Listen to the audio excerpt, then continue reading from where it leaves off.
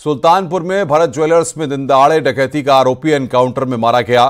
STF के deputy SP की team के साथ मुठभेड़ में एक लाख का इनामी डकैत मंगेश यादव मारा गया।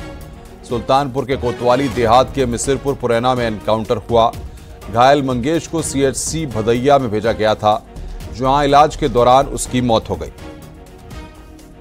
मौके से 32 बोर की एक पिस्टल, कारतूस 315 बोर का एक तमंचा, एक बाइक और लूटे सेवर बरामद हुए हैं। जौनपुर के रहने वाले मंगेश पर कई मुकदमे दर्ज थे। बताने की 28 अगस्त को सुल्तानपुर में भरत ज्वेलर्स में दिन दिनदहाड़े डकैती में शांतिर शामिल था। लगभग एक करोड़ पैंतीस लाख की डकैती हुई थी। तो ये आपको तस्वीर इस वक्त हम दिखा रहे हैं। डकैत का एनकाउंटर अस्पताल में दम तोड़ा और एसटीएफ को यहाँ पर यह कामयाबी मिली है।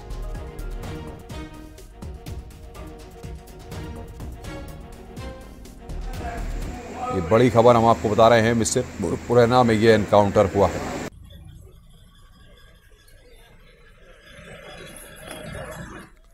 अट्ठाईस अगस्त को डकैती और आज यहाँ पर एनकाउंटर हुआ है। तो ये बड़ी खबर इस वक्त हम आपको दिखा रहे हैं 28 अगस्त को किस तरीके से डकैती की वारदात हुई थी और आज यहाँ पर एनकाउंटर में ढेर किया गया है।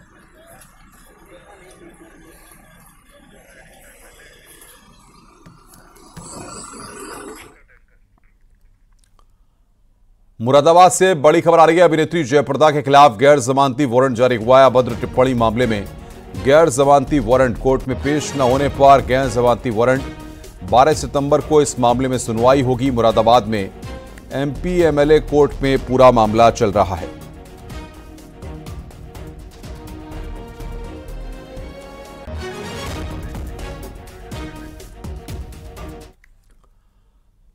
अब खबर यूट्यूबर एलविश यादव से जुड़ी हुई है। एलविश यादव के खिलाफ मनी लॉन्ड्रिंग केस में जाँच शुरू हो चुकी है और ईडी ने पूछताछ के लिए एलविश यादव को सम्मन भी भेजे हैं।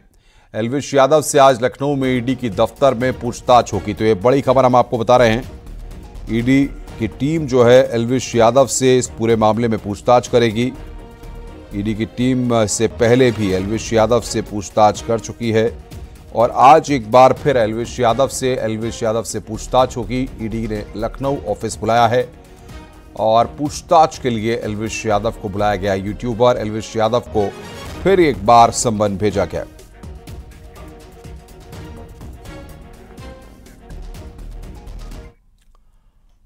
और नोएडा से बड़ी खबर आ रही है। निजी स्कूल में केजी की छात्रा से अश्लील हरकत का मामला सामने आया। पुलिस ने शिकायत मिलने पर केस दर्ज किया है।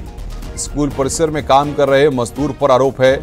पुलिस ने जाँच के लिए तीन टीम गठित की है। स्कूल मैनेजमेंट पर पीड़ित परिवार को धोखे में रखने का आरोप है। थाना सेक्टर 24 क्षेत्र का यह पूरा मामला है। तो स्कूल में केजी की छात्रा से अश्लील हरकत करने का मामला सामने आया है। और बातचीत करने के लिए हिमांशु शुक्ला हमारे संवाददाता, हमारे साथ फ़ोन लाइन जुड़ रहे हैं। हिमांशु, किस स्कूल का यह मामला है और क्या निकलकर अब तक सामने आया है? बिल्कुल देखिए, आपको बता दें, सेक्टर 12 में मॉडर्न पब्लिक स्कूल है और नाबालिग छात्रा थी छह वर्षीय, जिसके साथ वहाँ एक परिसर में काम चल रहा था, निर्माणाधीन परिसर था इसी स्कूल के अंदर। और वहाँ पर एक श्रमिक जो मजदूर है वो काम कर रहा था और इसी दौरान इस बच्ची के साथ बैक टच किया है, गंदी हरकत की है। लिहाजा बच्ची अपनी वहाँ से जान बचाकर स्कूल प्रमाइसिस की तरफ़ भागी और अपने आप को बाथरूम में बंद कर लिया।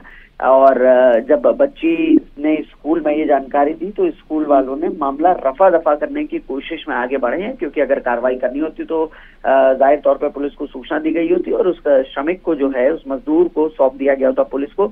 लेकिन जब परिवार को बच्ची ने ये बात बताई और परिवार ने स्कूल से तस्दीक की तो स्कूल ने ज़रूर झूठ बोला है, ये आरोप लगाया है परिवार ने कि उस श्रमिक, उस मजदूर को पुलिस को सौंप दिया गया है। जब पुलिस से जानकारी की गई इस बाबत तो पुलिस ने बताया कि ऐसी कोई सूचना ही नहीं है। लिहाजा परिवार ने शिकायत दी है। शिकायत के बाद स्कूल प्रिंसिपल से बातचीत की गई है और अब ये मुकदमा दर्ज कर लिया गया है।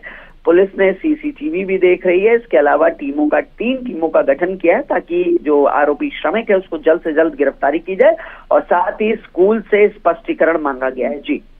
बहुत बहुत शुक्रिया हिमांशु आपका हमारे साथ जुड़ने के लिए और विस्तार से इस खबर पर जानकारी देने के लिए। कासगंज में एक सनसनी केस मामला सामने आया जहाँ पर एक महिला वकील की हत्या के बाद शव को नहर में फेंक दिया गया। हत्या के बाद महिला के चेहरे को कुचला भी गया ताकि पहचान ना हो सके। इस वारदात से आसपास सनसनी मची हुई है, सूचना पर पहुँची पुलिस ने। शव को कब्जे में लिया है, मृतका का नाम मोहनी तोमर है। दरअसल तीन अगस्त को सुबह 11 बजे मोहनी तोमर स्कूटी से कोर्ट पहुँची थी। दोपहर तो बाद उन्होंने अपने पति को कलेक्ट्रेट जाने के लिए कार मंगाई और साढ़े बारह बजे कार से पति के साथ गईं। उसके बाद दोपहर ढाई बजे उनके पति कोर्ट के गेट पर छोड़कर चले आए। शाम को वकील घर नहीं पहुँची तो उनके पति ने फ़ोन किया। तो मोबाइल स्विच ऑफ़ मिला। पुलिस की चार स्पेशल टीम इस मामले में लगाई गई हैं।